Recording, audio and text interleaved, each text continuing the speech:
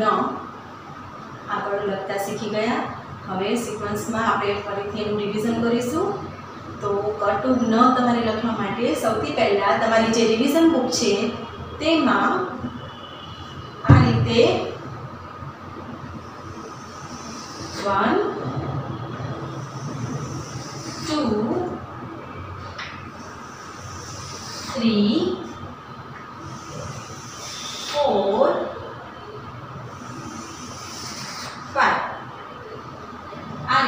1, 2, 3, 4, 1, 2, 3, 4 and 5. 5 lines તમારે draw કરવાની છે. તેથી તમારે 1, 2, 3, 4, 5 એન્ડ 6 એમાં 6 બોક્સ બનશે.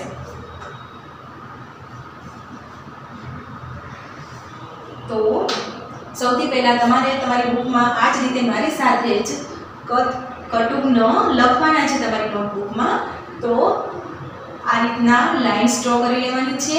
લાઇન સ્ટ્રો કર્યા બાદ સૌથી પહેલા ક,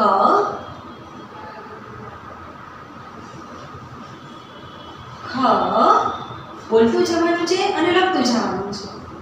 ક, ખ, ગ ખ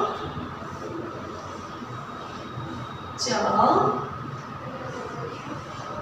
છ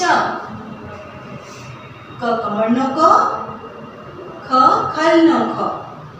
ગ ગણપતિનો ગ ઘ ઘરનો ગ. ચ ચકલીનો ચ, છ છત્રીનો છ. એકવાર એક લાઈન તમારી પૂરી થાય એટલે તમારે વ્યવસ્થિત એને ફિંગર રાખી અને બોલવાની છે. પછી જ જમરૂકનો જ સ સબલાનો સ. ટ ટપાલીનો ટ ઠ. ઠળિયાનો ઠ. ડ ડમરૂનો ડ ઢ. ડગલાનો ઢ. તો જ જમરૂટનો જ સ સબલાનો સ ટ ટમાટરનો ટ. ઠ, ઠળિયાનો ઠ. ડ ડમરૂનો ડ. ઢ, ઢગલાનો ઢ. આ રીતે તમારે એક લાઈન લખાઈ જાય, પછી તમારે એને બોલવાની છે. હવે આપણે બંને લાઈન સાથે બોલીશું. ક, ખ, ગ, ઘ, ચ, છ, જ, ઝ, ટ, ઠ, ડ અને ઢ. આ રીતના એક લાઈન લખાઈ જાય, એટલે એક લાઈન તમારે આખી બોલવાની છે. પછી બીજી લાઈન લખાઈ જાય એટલે પહેલી અને બીજી બંને લાઈન સાથે બોલવાની છે. પછી આવશે અણ ત થ દ ધ ન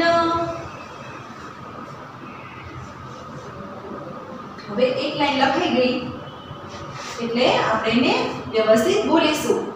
અણ, પેણનો અણ, ત તલવારનો ત, થ થડનો થ, દ દડાનો દ, ધ ધજાનો ધ, ન નનો ન તો હવે આપણે પહેલેથી બધા જ શબ્દ બોલીશું. ક કમળનો ક ખ, ગ ઘ ચ છ. છ, ઝ, ટ ઠ ડ, ઢ.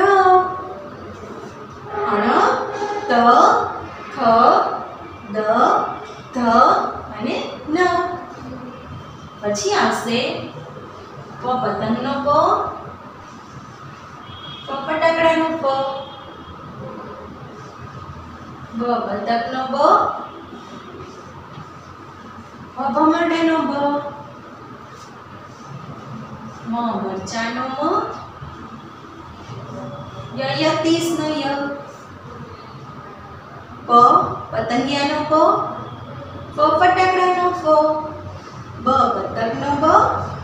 ભ ભમરડાનો ભ મ, મરચાનો મ. ય યતીનો ય. હવે ફરીથી આખો પપ્પો તમારે અહીંયા સુધી ગ ઘ ચ છ, જ ઝ ટ ઠ ડ, ઢ. આ રીતના તમે બબેની પેર બનાવીને બોલશો ને, તો પણ તમને મજા આવશે. અણો, ત ખ દ ધ, ન ગ ફ, બ ભ મ ય. લ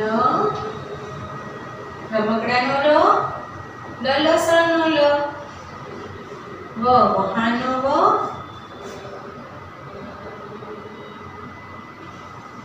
સ. શરણાઈનો શ શ ષટકોણનો સ. સ, સસલાનો સ. જો ર રમકડાનો ર લ. લસણનો લ વ વહાણનો વ. શ શરણાઈનો સ. શ ષટકોણનો શ સસલાનો સ. પાછો પહેલેથી અહીંયા સુધી તમારે કપ્પો બોલવાનો છે. છેલ્લે આવશે હ, હળ, ક્ષ અને જ્ઞ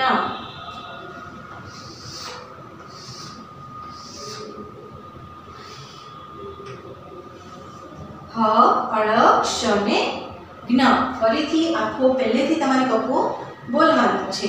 ક, ખ, ગ, ઘ, ચ, છ, જ ઝ ટ ઠ ડ ઠ અણ, ત, થ, દ ધ ન પ, ફ, બ ભ મ, ય. ર, લ, વ, શ, સ, શ હ હળ શ અને જ્ઞ. તો આ રીતે તમારે કપ્પો લખતું જવાનું છે અને બોલતું જવાનું છે. એક લાઈન પૂરી થાય અને બીજી લાઈન લખો એટલે પહેલી અને બીજી. બંને લાઈન તમારે ફિંગર રાખી અને બોલવાની છે. આ જ રીતના ત્રીજી લાઈન લખો એટલે પહેલી, બીજી અને ત્રીજી ત્રણેય લાઈન તમારે બોલવાની છે. આ રીતના તમે છેક સુધી લાઈન ઉપરની એકસાથે બોલશો એટલે તમે ક્ષ અને જ્ઞ લખશો ને ત્યાં સુધીના તમારે બધા જ શબ્દ પાકા થઈ જશે.